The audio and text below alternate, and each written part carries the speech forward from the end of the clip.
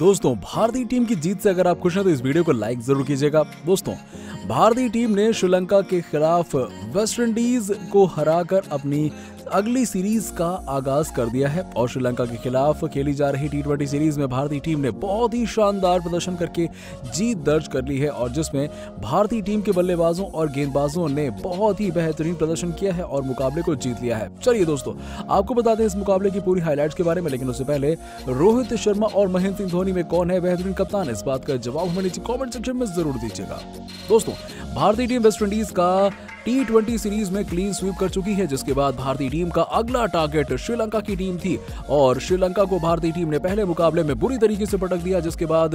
भारत और श्रीलंका के बीच में पहला टी मुकाबला लखनऊ के इकाना स्टेडियम में खेला गया, जिसमें भारतीय टीम ने टॉस हारकर बल्लेबाजी की और भारतीय टीम की तरफ़ से कई खिलाड़ियों की गैर हाजिरी में भारतीय टीम की ज़िम्मेदारी कप्तान रोहित शर्मा के हाथों में थी। और ईशान किशन के ऊपर भी बेहतरीन प्रदर्शन करने का दबाव आ गया, और भारतीय टीम को इन दोनों ही खिलाड़ियों ने एक शानदार शुरुआत दी, क्योंकि रोहित शर्मा कप्तान है और इनकी ज़िम्मेदारी बनती है कि भारतीय टीम एक बेहतरीन स्कोर खड़ा कर सके। और ईशान किशन को भी अपने लगातार बेकार फॉर्म को एक बेहतरीन अवसर में बदलने का मौका दिया। और दोनों ही बल्लेबाजों ने शुरुआत बड़े आराम से करी, लेकिन ईशान किशन ने अपना विकराल रूप ही धारण कर लिया और चौथे ओवर में तीन चौके जड़ दिए और अब श्रीलंका के गेंदबाजों पर अपना कहर भी बरपाते चले गए। और पावर प्ले का दोनों ही खिलाड़ियों ने बेहतरीन उपयोग करके अट्ठावन रन बिना किसी विकेट के नुकसान पर बना दिए। और ईशान किशन ने अपना बेहतरीन प्रदर्शन किया और दसवें ओवर में अपना दूसरा अर्धशतक टी क्रिकेट में पूरा किया और इसके बाद भी ईशान किशन रुके नहीं। उन्होंने दूसरी तरफ़ रोहित शर्मा के साथ शानदार बल्लेबाजी की और 111 रन की शतकीय साझेदारी करके रोहित शर्मा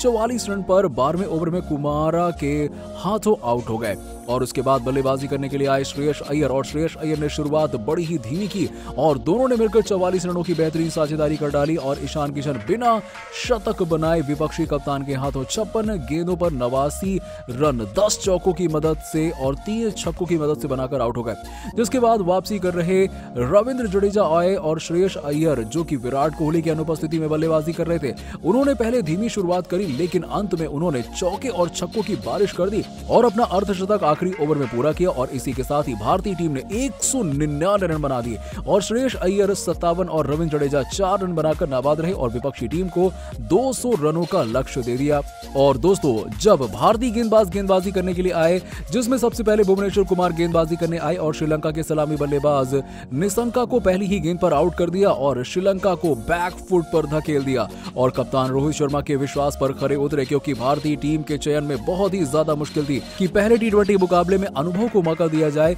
या फिर जो बेहतरीन प्रदर्शन कर रहे हैं उस खिलाड़ी को। लेकिन भारतीय टीम के कोच राहुल द्रविड़ और कप्तान रोहित शर्मा ने अनुभव को मौका दिया और भुवनेश्वर कुमार ने उसे सही साबित कर दिया। हालाँकि ये कहानी यही नहीं रुकने वाली थी, क्योंकि पावर प्ले तक श्रीलंका ने उनतीस रन बना ली थे और पावर प्ले के अगले ही ओवर में रोहित शर्मा ने अपने बेहतरीन ऑलराउंडर वेंकटेश अय्यर को गेंद थमाई और वेंकटेश अय्यर ने इस ओवर में विकेट ले लिया और ये श्रीलंका का तीसरा विकेट था। और वही बल्लेबाजी के लिए दिनेश आए और उन्होंने छक्का चढ़ने के बाद रविंद्र जडेजा ने उन्हें आउट कर दिया और पुष्पा स्टाइल में जश्न बनाया जिसके बाद यजुवेन चहल ने ग्यारहवें ओवर में विपक्षी कप्तान शंका को आउट कर दिया और जिसके बाद श्रीलंका के बल्लेबाज में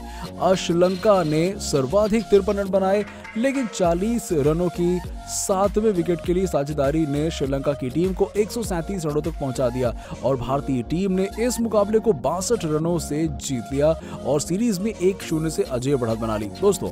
पहले मुकाबले में भारतीय टीम की जीत का हीरो कौन सा खिलाड़ी रहा? इस बात का जवाब हमें नीचे कमेंट सेक्शन में ज़रूर दीजिएगा और ऐसी ही खबरों के लिए सब्सक्राइब कीजिए हमारे यूट्यूब चैनल को। धन्यवाद।